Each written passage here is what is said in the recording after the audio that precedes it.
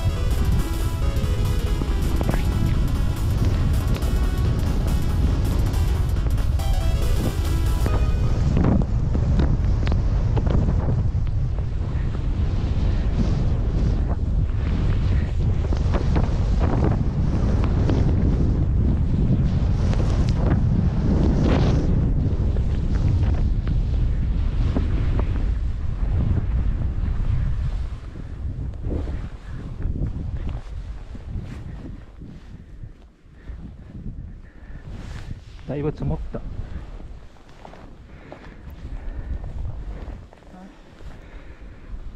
れまっすぐ下でいいんでしたっけ？いいです。一気に行っていいです。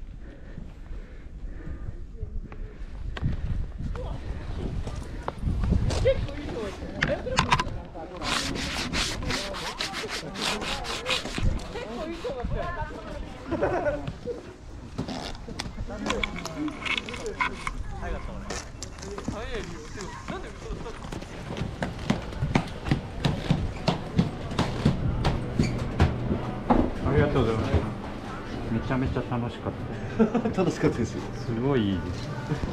ヤンマーと違います？よだいぶ違いますね、ほんでもね。あ朝のとは全然違いますね。はい。はい。